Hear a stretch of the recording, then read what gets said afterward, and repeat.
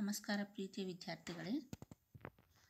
ಇವತ್ತಿನ ಪಾಠಕ್ಕೆ ತಮಗೆಲ್ಲರಿಗೂ ಸ್ವಾಗತವನ್ನು ಕೋರುತ್ತಾ, ಇವತ್ತಿನ ದಿನ ನಾವು ನಾಲ್ಕನೇ ತರಗತಿಯ ಗಣಿತ ವಿಷಯದ ಅಭ್ಯಾಸ, ಅಧ್ಯಾಯ ಎರಡರಲ್ಲಿ ಅಭ್ಯಾಸ ಎರಡು ಪಾಯಿಂಟ್ ನಾಲ್ಕನ್ನು ನಾವಿವತ್ತು ಬಿಡಿಸ್ತಾ ಇದ್ದೀವಿ. ಈ ಹಿಂದಿನ ಅವಧಿಯಲ್ಲಿ ನಾನೇನು ಮಾಡಿದ್ದೆ ನಿಮಗೆ, ಸಮಾನ ಅಂತರದ ಸಂಖ್ಯೆಗಳು ಇದರ ಬಗ್ಗೆ ಹೇಳಿದ್ದೆ, ಉದಾಹರಣೆಗಳ ಮೂಲಕ ಬಿಡಿಸಿದ್ದೆವು. ಇವತ್ತಿನ ದಿನ ನಾವೇನು ಮಾಡೋಣ, ಅದನ್ನು ಅಭ್ಯಾಸ ಎರಡು ಪಾಯಿಂಟ್ ನಾಲ್ಕರಲ್ಲಿ ಪೂರ್ಣವಾಗಿ ಬಿಡಿಸೋಣ. ನೋಡಿ ಮಕ್ಕಳೇ, ಮೊದಲನೇದಾಗಿ ಏನಪ್ಪ ಪ್ರಶ್ನೆ? ಅಭ್ಯಾಸ ಎರಡು ಪಾಯಿಂಟ್ ನಾಲ್ಕರಲ್ಲಿ ಈ ಸಂಖ್ಯಾ ರೇಖೆಗಳಲ್ಲಿ ಬಿಟ್ಟು ಹೋದ ಸಂಖ್ಯೆಗಳನ್ನು ಬರೆದು ಪೂರ್ಣ ಮಾಡಿರಿ ಅಂತ ಹೇಳ್ಯಾರ. ನಾವು ಉದಾಹರಣೆಗಳನ್ನ ಬಿಡಿಸಿದ್ದೆವು. ಏನಪ್ಪ? ಇಲ್ಲಿ ಏನು ಮಾಡ್ಯಾರ ಅವರು? ಸಂಖ್ಯೆಗಳನ್ನ ಕೊಟ್ಟಾರ. ಎರಡು ಸಾವಿರದ ಒಂದುನೂರು, ಎರಡು ಸಾವಿರದ ಒಂದುನೂರ ಇಪ್ಪತ್ತೈದು ಎರಡು ಸಾವಿರದ ಒಂದುನೂರ ಐವತ್ತು. ಈ ಮೂರು ಸಂಖ್ಯೆಗಳನ್ನ ಕೊಟ್ಟಾರ. ಇನ್ನು ಮುಂದಿನ ಮೂರು ಸಂಖ್ಯೆಗಳನ್ನ ಕಂಡುಹಿಡಿಯಿರಿ ಅಂತ ಹೇಳಿದ್ದಾರೆ. ನೋಡಿ, ಎರಡು ಸಾವಿರದ ಒಂದು ನೂರು ಒಂದನೇ ಸಂಖ್ಯೆ, ಇದಕ್ಕೆ ಮತ್ತು ಎರಡನೇ ಸಂಖ್ಯೆಗೆ ಎಷ್ಟು ಅಂತರ ಇದೆ ಅನ್ನೋದನ್ನು ನಾನು ಯಾವ ರೀತಿ ಕಂಡುಹಿಡಿಬೇಕು ಅನ್ನೋದನ್ನು ನಿಮಗೆ ಹೇಳಿದ್ದೆ ವಿದ್ಯಾರ್ಥಿಗಳೇ. ನೋಡಿ, ಸಾವಿರ ಸ್ಥಾನದಲ್ಲಿರುವಂಥ ಸಂಖ್ಯೆ ಒಂದೇ ಅದ. ಹೌದಾ? ಎರಡು ಸಾವಿರ ಎರಡು ಸಾವಿರ ಎರಡು ಸಾವಿರ. ಅದಂತೂ ಚೇಂಜ್ ಆಗಿಲ್ಲ. ಇನ್ನು ನೂರರ ಸ್ಥಾನದಲ್ಲಿ ಏನಾಗಿದೆ? ಇಲ್ಲಿ ಒಂದು ಇದೆ. ಇಲ್ಲೂ ಒಂದೈತಿ ಇಲ್ಲೂ ಒಂದೈತಿ. ಹೌದಾ? ನೋಡ್ರಿ, ಇನ್ನು ಹತ್ತರ ಸ್ಥಾನದಲ್ಲಿ ಮತ್ತು ಬಿಡಿ ಸ್ಥಾನದಲ್ಲಿ. ನೋಡಿ ಮಕ್ಕಳೇ, ಎರಡು ಸಾವಿರದ ಒಂದು ನೂರು ಮತ್ತು ಎರಡು ಸಾವಿರದ ಒಂದುನೂರ ಇಪ್ಪತ್ತೈದು. ನೋಡಿರಿ, ಇಲ್ಲಿ ಎಷ್ಟು ಹೆಚ್ಚಾಗಿದೆ ಅಂತ ನಿಮಗೆ ಸಂಖ್ಯೆಯನ್ನು ಓದೋದ್ರ ಮೇಲೆ ಗೊತ್ತಾಗ್ಬಿಡ್ತದೆ. ಎಷ್ಟು ಹೆಚ್ಚಾಗಿದೆ ಇಲ್ಲಿ? ಇಲ್ಲಿ ಸೊನ್ನೆ ಸೊನ್ನೆ ಅದ ಇಲ್ಲಿ ಇಪ್ಪತ್ತೈದು. ಅಂದರೆ ಒಂದು ಸಂಖ್ಯೆಗೆ ಇನ್ನೊಂದು ಸಂಖ್ಯೆಗೆ ಎಷ್ಟು ಹೆಚ್ಚಾಗಿದೆ? ಇಪ್ಪತ್ತೈದು. ಹೆಚ್ಚಾಗಿದೆ ಎಷ್ಟು ಹೆಚ್ಚಾಗಿದೆ ಇಲ್ಲಿ? ಇಪ್ಪತ್ತ ಐದು ಹೌದಾ? ಮತ್ತು ಇಲ್ಲಿ ಇಪ್ಪತ್ತೈದಕ್ಕೆ ಮತ್ತು ಇಪ್ಪತ್ತೈದನ್ನು ಏನು ಮಾಡ್ಯಾರ ಅವರು? ಕೂಡಿಸಿದ್ದಾರೆ ಎಷ್ಟಾಯಿತು? ಐವತ್ತು. ಇಪ್ಪತ್ತೈದಕ್ಕೆ ಇಪ್ಪತ್ತೈದು ಕೂಡಿಸಿ ಏನು ಮಾಡ್ಯಾರ? ಐವತ್ತು. ಅಂದರೆ ಒಂದು ಸಂಖ್ಯೆಯಿಂದ ಇನ್ನೊಂದು ಸಂಖ್ಯೆಯ ನಡುವಿನ ಅಂತರ ಎಷ್ಟೈತಪ್ಪ ಇಪ್ಪತ್ತೈದು ಐತಿ. ಹೌದಾ? ಅದೇ ರೀತಿ ಇಲ್ಲಿಯೂ ಕೂಡ ಇಪ್ಪತ್ತೈದು. ಅಂದರೆ ಸಮಾನ ಅಂತರದ ಸಂಖ್ಯೆಗಳಂದರೆ ಏನಿಲ್ಲ? ಸೇಮ್ ಅಂತರ ಇರ್ತದೆ ಪ್ರತಿ ಸಂಖ್ಯೆಗೂ. ಹೌದಾ? ಇನ್ನು ನಾವು ಮುಂದಿನ ಸಂಖ್ಯೆ ಕಂಡುಹಿಡಿಯಬೇಕಂದ್ರೆ ಏನು ಮಾಡಬೇಕಿಲ್ಲಿ ಹಿಂದಿನ ಅವಧಿಯಲ್ಲಿ ನಾವು ಉದಾಹರಣೆಗಳನ್ನ ಬಿಡಿಸಿದ್ದೀವಿ ಅಲ್ವಾ?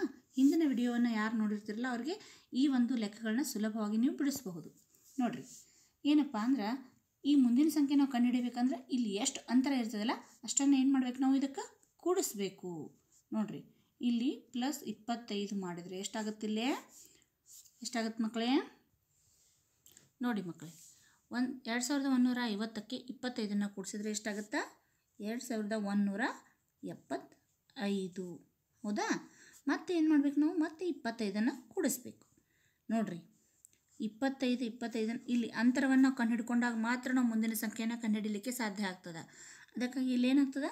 ಎರಡು ಸಾವಿರದ ಒಂದುನೂರ ಐವತ್ತಕ್ಕೆ ಇಪ್ಪತ್ತೈದು ಕೂಡಿಸಿದ್ದೀವಿ ಎರಡು ಸಾವಿರದ ಒಂದುನೂರ ಎಪ್ಪತ್ತೈದು ಆಯಿತು. ಮತ್ತು ಮುಂದಿನ ಸಂಖ್ಯೆಯನ್ನು ನಾವು ಕಂಡುಹಿಡಿಬೇಕಂದ್ರೆ ಮತ್ತೆ ಇಪ್ಪತ್ತೈದನ್ನು ಏನು ಮಾಡಬೇಕು? ಕೂಡಿಸ್ಬೇಕು. ಮತ್ತು ಇಪ್ಪತ್ತೈದು ಕೂಡಿಸಿದಾಗ ಎರಡು ಸಾವಿರದ ಎರಡು ಮೂರು ಎಷ್ಟಾಯಿತು ಮಕ್ಕಳೇ? ಎರಡು ಸಾವಿರದ ಎರಡು ನೂರು ಮತ್ತು ಇದಕ್ಕೆ ಏನು ಮಾಡಬೇಕು?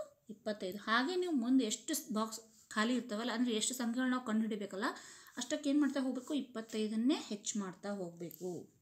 ನೋಡಿರಿ, ಎರಡು ಸಾವಿರದ ಎರಡು ನೂರ ಇಪ್ಪತ್ತೈದು. ಅರ್ಥ ಆಯ್ತಾ ಮಕ್ಕಳೇ?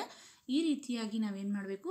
ಸಮಾನಾಂತರದ ಸಂಖ್ಯೆಗಳನ್ನು ಕಂಡುಹಿಡಿತಾ ಹೋಗಬೇಕು. ಈಗ ನೋಡಿ ವಿದ್ಯಾರ್ಥಿಗಳೇ, ಎರಡು, ಮೂರು, ನಾಲ್ಕು.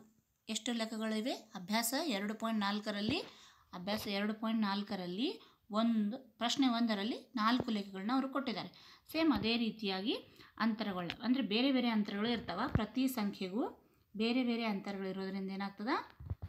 ಒಂದು ಸ, ಒಂದು ಲೆಕ್ಕದಲ್ಲಿ ಒಂದೇ ಸಮಾನ ಅಂತರ ಇರ್ತದೆ. ಒಂದು ಲೆಕ್ಕದಲ್ಲಿ ಒಂದೇ ಅಂತರ ಇರ್ತದೆ.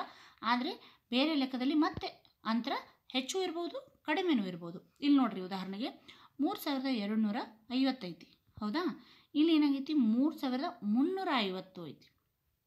ಇಲ್ಲಿ ನೂರರ ಸ್ಥಾನ ಬದಲಿ ಅರ್ಥ ಆಯ್ತಾ ಮಕ್ಕಳೇ ಇಲ್ಲಿ ಸಾವಿರ ಸ್ಥಾನ, ಬಿಡಿ ಸ್ಥಾನ, ಹತ್ತರ ಸ್ಥಾನ, ನೋಡ್ತಾ ಹೋಗ್ಬೇಕು ನಾವು. ಬಿಡಿ ಹತ್ತು, ನೂರು, ಸಾವಿರ. ಇಲ್ಲಿ ಬಿಡಿ ಹತ್ತು, ನೂರು, ಸಾವಿರ. ಇಲ್ಲಿ ಯಾವ ಸ್ಥಾನ ಚೇಂಜ್ ಆಗಿರ್ತದಲ್ಲ, ಅದರ ಆಧಾರದ ಮೇಲೆ ನಾವೇನು ಮಾಡ್ಬೋದು? ಈಸಿಯಾಗಿ ಗುರುತಿಸ್ಬೋದು ಇಲ್ಲಿ ನೋಡ್ರಿ, ಎಷ್ಟು ಅಂತರ ಇದೆ ಇಲ್ಲಿ? ನೂರು. ಎಷ್ಟು? ನೂರು. ನೋಡಿ ಮಕ್ಕಳೇ, ಮತ್ತು ಇಲ್ಲಿಯೂ ಕೂಡ ನೂರು. ಹೇಗೆ ಕಂಡುಹಿಡಿಯೋದು ಅಂದರೆ, ಇಲ್ಲಿ ನೋಡಿರಿ, ಇಲ್ಲಿ ಎರಡುನೂರ ಐವತ್ತಿದ್ರೆ ಇಲ್ಲಿ ಮುನ್ನೂರ ಐವತ್ತೈತಿ ನೂರು ಹೆಚ್ಚಾಯ್ತಲ್ವಾ? ಇಲ್ಲಿ ಮುನ್ನೂರ ಐವತ್ತಿದ್ರೆ ಇಲ್ಲಿ ನಾಲ್ಕುನೂರ ಐವತ್ತೈತಿ ಇನ್ನೂರು ಹೆಚ್ಚಾಯಿತು. ಈಗ ನಮ್ಮ ಮುಂದಿನ ಸಂಖ್ಯೆಯನ್ನು ಈಸಿಯಾಗಿ ಕಂಡು ಹಿಡಿಬೋದು ಅಲ್ವಾ? ನೋಡಿ ಮಕ್ಕಳೇ ಪ್ಲಸ್ ನೂರನ್ನು ಕೂಡಿಸ್ಬೇಕು. ಮತ್ತೆ, ಎಷ್ಟಾಯಿತು? ಮೂರು ಸಾವಿರದ ಐದುನೂರ ಐವತ್ತು. ಹೌದಾ? ನೋಡಿ, ಮೂರು ಸಾವಿರದ ಆರುನೂರ ಐವತ್ತು. ಸೇಮ್, ಮೊದಲನೇ ಲೆಕ್ಕ ನಾವು ಯಾವ ರೀತಿ ಬಿಡಿಸಿದ್ದೀವಲ್ಲ ಮುಂದೆ ನಮ್ಗೆ ಎಷ್ಟು ಸಂಖ್ಯೆಗಳನ್ನ ನಾವು ಕಂಡುಹಿಡಿಬೇಕಲ್ಲ, ಅಷ್ಟು ಸಂಖ್ಯೆಗಳಿಗೆ ಏನು ಮಾಡಬೇಕು ನಾವು? ನೂರನ್ನು ಹೆಚ್ಚಿಗೆ ಮಾಡ್ತಾ ಹೋಗಬೇಕು. ಮತ್ತು ಪ್ಲಸ್ ನೂರು ಮೂರು ಸಾವಿರದ ಏಳ್ನೂರ ಐವತ್ತು. ಹೌದಾ ಮಕ್ಕಳೇ? ಈ ರೀತಿಯಾಗಿ ಒಂದು ಸಂಖ್ಯೆಯಿಂದ ಇನ್ನೊಂದು ಸಂಖ್ಯೆ ಅಂತರವನ್ನು ನಾವು ಕಂಡ್ಕೊಂಡು ಬಿಟ್ಟಿವಿ ಅಂದ್ರೆ, ಈಸಿಯಾಗಿ ನಾವು ಮುಂದಿನ ಸಂಖ್ಯೆಯನ್ನು ಕಂಡುಹಿಡಿಬೋದು. ಇಲ್ಲಿ ನೋಡ್ರಿ ಇಲ್ಲಿ ಬಿಡಿನೂ ಇಲ್ಲ, ಹತ್ತು ಇಲ್ಲ, ನೂರು ಇಲ್ಲ. ಎಷ್ಟು ಹೆಚ್ಚಾಗಿದೆ ಇಲ್ಲಿ? ನೋಡ್ರಿ, ಎಷ್ಟು ಹೆಚ್ಚಾಗಿದೆ ಅಂತರವನ್ನು ನಾವು ಕಂಡ್ಕೋಬೇಕು. ನೋಡಿ ಮಕ್ಕಳೇ, ಮೊದಲನೇ ಸಂಖ್ಯೆಯಲ್ಲಿ ಒಂದು ಲೆಕ್ಕದಲ್ಲಿ ಇಪ್ಪತ್ತೈದು ಹೆಚ್ಚಾಗಿತ್ತು, ಎರಡನೆಯಲ್ಲಿ, ಎರಡನೇ ಪ್ರಶ್ನೆಯಲ್ಲಿ ನೂರು ಹೆಚ್ಚಾಗಿತ್ತು. ಈಗ ಮೂರನೇ ಪ್ರಶ್ನೆ. ಇಲ್ಲಿ ಮೂರನೇ ಲೆಕ್ಕದಲ್ಲಿ ಏನಾಗಿದೆಪ್ಪ ಅಂದ್ರೆ ಐದುನೂರು ಹೆಚ್ಚಾಗ್ಬಿಟ್ಟದ ಒಮ್ಮೆದೊಮ್ಮೆ. ನೋಡ್ರಿ, ಎಷ್ಟು ಹೆಚ್ಚಾಗಿದೆ ಐದುನೂರು? ನೋಡ್ರಿ ಇಲ್ಲಿ ಏಳು ಸಾವಿರದ ಐದುನೂರು ಇದ್ದರೆ ಇಲ್ಲಿ ಒಮ್ಮೆ ಎಂಟು ಸಾವಿರ ಆಗಿಬಿಡುತ್ತೆ. ಐದುನೂರು ಕೂಡಿಸಿದಾಗ ಮಾತ್ರ ಎಂಟು ಸಾವಿರದ ಒಂದು ಬರ್ತದೆ. ಬಿಡಿ ಸ್ಥಾನ ಚೇಂಜ್ ಆಗಿಲ್ಲ. ಹತ್ತರ ಸ್ಥಾನ ಚೇಂಜ್ ಆಗಿಲ್ಲ. ನೂರರ ಸ್ಥಾನದಲ್ಲಿ ಬದಲಾವಣೆ ಆಗಿದ್ದರಿಂದ ಸಾವಿರ ಸ್ಥಾನವೂ ಕೂಡ ಹೆಚ್ಚಾಗ್ತದ. ಅರ್ಥ ಆಯ್ತಾ ಮಕ್ಕಳೇ? ನೋಡಿರಿ, ಇಲ್ಲೂ ಕೂಡ ಐದುನೂರು ಹೆಚ್ಚು ಮಾಡ್ಯಾರ.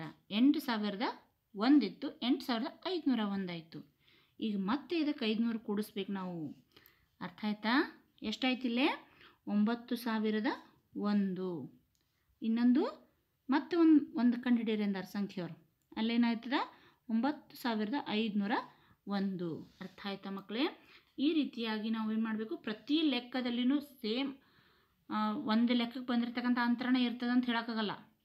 ಇಲ್ಲಿ ಈ ಒಂದು ಲೆಕ್ಕದಲ್ಲಿ ಬೇರೆ ಬೇರೆ ಅಂತರ ಇರ್ ಒಂದೇ ಅಂತರ ಇರ್ಬೋದು. ಆದರೆ ಪ್ರತಿ ಪ್ರಶ್ನೆಗೂ ಕೂಡ ಅಂತರಗಳು ಬೇರೆ ಬೇರೆ ಸಂಖ್ಯೆಯದಾಗಿರ್ತದೆ ಒಂದು ಲೆಕ್ಕದಲ್ಲಿ ಅಂತರ ಸಮಾನ ಅಂತರ ಇರ್ತದೆ. ಆದರೆ ಒಂದು ಲೆಕ್ಕದಿಂದ ಇನ್ನೊಂದು ಲೆಕ್ಕಕ್ಕೆ ಹೋದಾಗ ನಾವೇನಾಗ್ತದೆ?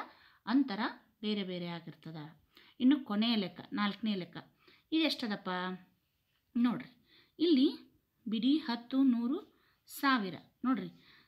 ಬಿಡಿ ಹತ್ತು ನೂರು, ಬಿಡಿ ಹತ್ತು ನೂರು, ಎಲ್ಲ ಎಲ್ಲ ಲೆಕ್ಕದಲ್ಲಿನೂ ಏನದ? ಎಲ್ಲ ಸಂಖ್ಯೆಗಳು ಸೇಮ್ ಅದಾವೆ. ಆದರೆ ಸಾವಿರ ಸ್ಥಾನ ಮಾತ್ರ ಏನಾಗಿದೆ ಇಲ್ಲಿ? ಬದಲಾವಣೆ ಆಗಿದೆ. ಅಂದರೆ ಎಷ್ಟು ಹೆಚ್ಚಾಗಿದೆ ಮಕ್ಕಳು ಇಲ್ಲಿ? ಒಂದು ಸಾವಿರ. ಎಷ್ಟು ಹೆಚ್ಚಾಗಿದೆ ಒಂದು ಸಾವಿರ. ನೋಡ್ರಿ, ಎರಡು ಸಾವಿರದಿಂದ ಮೂರು ಸಾವಿರ. ಒಂದು ಸಾವಿರ ಹೆಚ್ಚಾಯಿತು. ಇಲ್ಲಿಯೂ ಕೂಡ ಒಂದು ಸಾವಿರ ಹೆಚ್ಚಾಯಿತು. ಅರ್ಥ ಆಯ್ತಾ ಮಕ್ಕಳೇ? ಎಷ್ಟು ಈಸಿಯಾಗಿ ನಾವು ಸಮಾನ ಅಂತರದ ಸಂಖ್ಯೆಗಳನ್ನ ಕಂಡುಹಿಡಿಬಹುದು. ಐದು ಸಾವಿರದ ನಲವತ್ತು ಪ್ಲಸ್ ಸಾವಿರ ಮತ್ತು ಆರು ಸಾವಿರದ ನಲವತ್ತು. ಅರ್ಥ ಆಯ್ತಾ ಮಕ್ಕಳೇ? ಈ ರೀತಿಯಾಗಿ ನಾವೇನು ಮಾಡ್ಬೋದು ಸಮಾನ ಅಂತರದ ಸಂಖ್ಯೆಗಳನ್ನು ನಾವು ಈಸಿಯಾಗಿ ಕಂಡುಹಿಡಿಬಹುದು ಬಿಟ್ಟು ಹೋಗಿರ್ತಕ್ಕಂಥ ಸಂಖ್ಯೆಗಳನ್ನ ನಾವು ಪೂರ್ಣ ಮಾಡಲಿಕ್ಕೆ ಈಸಿ ಆಗ್ತದೆ. ನೋಡಿ ಮಕ್ಕಳೇ ಇದುವರೆಗೂ ನಾವು ಅಭ್ಯಾಸ ಎರಡು ಪಾಯಿಂಟ್ ನಾಲ್ಕರಲ್ಲಿ ಒಂದನೇ ಪ್ರಶ್ನೆಯನ್ನು ಬಿಡಿಸಿದೆವು, ಅಲ್ವಾ? ಈಗ ಅಭ್ಯಾಸ ಎರಡು ಪಾಯಿಂಟ್ ನಾಲ್ಕರಲ್ಲಿ ಎರಡನೇ ಲೆಕ್ಕವನ್ನು ನಾನು ಈಗ ಮಾ, ಏನು ಮಾಡ್ತಿದ್ದೀನಿ ನಿಮ್ಗೆ ತೋರಿಸ್ತಾ ಇದ್ದೀನಿ. ಈ ಸಂಖ್ಯಾ ಸರಣಿಯಲ್ಲಿ ಬಿಟ್ಟಿರುವಂಥ ಸಂಖ್ಯೆಗಳನ್ನು ಏನು ಮಾಡ್ರಿ ನೀವು? ಬರೆಯಿರಿ ಅಂತ ಆಯ್ತಿದು ಹೌದಾ? ಏನಪ್ಪ? ಮೊದಲನೇ ಸಂಖ್ಯೆ. ನೋಡಿರಿ, ಪ್ರಶ್ನೆ ಎರಡರಲ್ಲಿ ಮೊದಲನೇ ಇದೇ ಏನು ಮಾಡಿದ್ರಿ ನೀವು? ಒಂದು ಸಂಖ್ಯೆಯಿಂದ ಇನ್ನೊಂದು ಸಂಖ್ಯೆ ಅಂತರವನ್ನು ಕಂಡು ಹಿಡ್ಕೊಂಡು ಏನು ಮಾಡಿದ್ರಿ? ಮುಂದೆ ಬಂದಿದ್ರಿ. ಇಲ್ಲೂ ಕೂಡ ಅದೇ ರೀತಿಯಾಗಿ ಮಾಡಬೇಕು. ಮೊದಲನೇ ಸಂಖ್ಯೆ ಎರಡು ಸಾವಿರದ ಮೂರುನೂರ ಇಪ್ಪತ್ತಾರು. ಆಮೇಲೆ ಎರಡು ಸಾವಿರದ ಮೂರುನೂರ ಮೂವತ್ತು. ಎರಡು ಸಾವಿರದ ಮೂರುನೂರ ಮೂವತ್ತ್ನಾಲ್ಕು ಮುಂದೆ ಎಷ್ಟು ಸಂಖ್ಯೆಗಳನ್ನ ಕಂಡುಹಿಡಿಯಿರಿ ಅಂದಾರೆ ಅವರು? ಮೂರು. ಎಷ್ಟು? ಮೂರು ಸಂಖ್ಯೆಗಳನ್ನ ಕಂಡುಹಿಡಿಬೇಕು ನಾವು. ಹೌದಾ? ನೋಡ್ರಿ.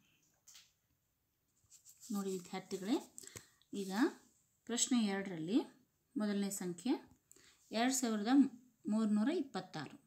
ಹೌದಾ? ಈಗ ನಾವು ಮೊದಲಿಗೆ ಏನು ಮಾಡಬೇಕಪ್ಪ? ಎರಡನೇ ಸಂಖ್ಯೆ ಮತ್ತು ಮೊದಲನೇ ಸಂಖ್ಯೆ ಇರುವಂಥ ಅಂತರವನ್ನು ಕಂಡುಹಿಡ್ಕೋಬೇಕು. ನಾನು ಹೇಳಿದ ಹಾಗೆ ಬಿಡಿ, ಹತ್ತು, ನೂರು ಈ ಕಡೆಯಿಂದ ಹೋದಾಗ ಏನಾಗ್ತದೆ? ನಮಗೆ ಈಸಿಯಾಗಿ ಗೊತ್ತಾಗ್ತದೆ. ಇಲ್ಲಿ ನೋಡಿರಿ, ನೂರು ಮತ್ತು ಸಾವಿರ ಸ್ಥಾನ ಎಲ್ಲೂ ಚೇಂಜ್ ಆಗಿಲ್ಲ. ಹೌದಾ? ನಮಗೆ ಚೇಂಜ್ ಆಗಿರೋದು ಏನಪ್ಪ ಇಲ್ಲಿ? ಬಿಡಿ ಮತ್ತು ಹತ್ತರ ಸ್ಥಾನ ಹೌದಾ? ಇಪ್ಪತ್ತಾರಕ್ಕೆ ಎಷ್ಟನ್ನು ಕೂಡಿಸಿದಾಗ ಏನಾಯ್ತು? ಇಲ್ಲೇ ಮೂವತ್ತಾಯಿತು. ಇಂಥ ಸಣ್ಣ ಸಂಖ್ಯೆದಾಗ ಏನು ಮಾಡ್ಬೋದು ನೀವು? ಈಸಿಯಾಗಿ ಹೇಳ್ಬೋದು ಹೌದಾ? ಹೇಳ್ತೀರಾ? ಎಷ್ಟು ಕೂಡಿಸಿದಾರಪ್ಪ ಇಲ್ಲೇ? ಇಪ್ಪತ್ತಾರಕ್ಕೆ ನಾಲ್ಕು ಕೂಡಿಸಿದ್ರೆ ಎಷ್ಟಾಯಿತು?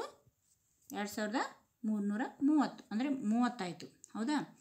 ಇಲ್ಲಿ ನೋಡ್ರಿ. ಮತ್ತೆ ಮೂವತ್ತಕ್ಕೆ ಏನು ಮಾಡಿದ್ರಪ್ಪ? ನಾಲ್ಕನ್ನು ಕೂಡಿಸ್ಯಾರ. ಅದಕ್ಕೆ ಏನಾಯಿತು? ಇಲ್ಲಿ ಬಿಡಿ ಸ್ಥಾನ ಚೇಂಜ್ ಆಯಿತು. ಹೌದಾ? ಅಂದರೆ ಎರಡು ಸಾವಿರದ ಮೂರುನೂರ ಮೂವತ್ತ್ನಾಲ್ಕಾಯಿತು ಮೂವತ್ತಿದ್ದು ಮೂವತ್ತ್ನಾಲ್ಕಾಯಿತು ಅದೇ ರೀತಿಯಾಗಿ ಸಮಾನ ಅಂತರ ಅಂದ್ರೆ ಇಲ್ಲಿ ಅಂತರ ಎಷ್ಟಿದೆ ಅಂತ ಗೊತ್ತಾಯ್ತು ನಾವು. ಒಂದು ಸಂಖ್ಯೆಯಿಂದ ಇನ್ನೊಂದು ಸಂಖ್ಯೆ ನಡುವೆ. ನಾಲ್ಕೈತಿ ಅಂತ ಗೊತ್ತಾಯಿತು. ಹೌದಾ? ಅದಕ್ಕೆ ಏನು ಮಾಡ್ಬೇಕು ನಾವು ಈಗ? ಮತ್ತೆ ನಾಲ್ಕನ್ನು ಕೂಡಿಸ್ತಾ ಹೋಗ್ಬೇಕು ಸಂಖ್ಯೆಗೆ. ನಾಲ್ಕು ಕೂಡಿಸಿದ್ರೆ ಎಷ್ಟಾಯಿತು? ಎರಡು ಸಾವಿರದ ಮೂರುನೂರ ಮೂವತ್ತೆಂಟು. ಮತ್ತು ನಮಗೆ ಸಂಖ್ಯೆಗಳು ಎಷ್ಟು ಕಂಡುಹಿಡಿ ಅಂದ್ರಲ್ಲ, ಅಲ್ಲಿವರೆಗೂ ನಾವು ಏನು ಮಾಡ್ತಾ ಹೋಗಬೇಕು? ಆ ಸಂಖ್ಯೆ ಅಂತರ ಎಷ್ಟಾಗಿರ್ತದಲ್ಲ, ಅಷ್ಟನ್ನು ಏನು ಮಾಡ್ಬೇಕು ನಾವು? ಹೆಚ್ಚಿಗೆ ಮಾಡ್ತಾ ಹೋಗಬೇಕು. ನೋಡಿರಿ. ಎರಡು ಸಾವಿರದ ಮೂರುನೂರ ನಲವತ್ತೆರಡು. ಮತ್ತು. ಎರಡು ಸಾವಿರದ ಮೂರುನೂರ ಅರ್ಥ ಆಯ್ತಾ ಮಕ್ಕಳೇ? ಈ ರೀತಿಯಾಗಿ ಒಂದು ಅಂತರ ನಮಗೆ ಸಿಕ್ಕಾಗ ಏನಾಗ್ತದೆ ನಾವು? ಎಲ್ಲ ಸಂಖ್ಯೆಗಳನ್ನು ಈಸಿಯಾಗಿ ಕಂಡುಹಿಡಿಬಹುದು. ಹೌದಾ? ನೋಡಿ. ಮುಂದಿನ ಲೆಕ್ಕಗಳು ಎರಡು ಮಾತ್ರ ಹಾಗೆ ಇವೆ. ನೋಡಿ. ನೋಡಿ ವಿದ್ಯಾರ್ಥಿಗಳೇ ಒಂದನೇ ಲೆಕ್ಕವನ್ನು ನಾವು ಬಿಡಿಸಿದ್ದೀವಿ ಅಲ್ವಾ? ಪ್ಲಸ್ ನಾಲ್ಕು.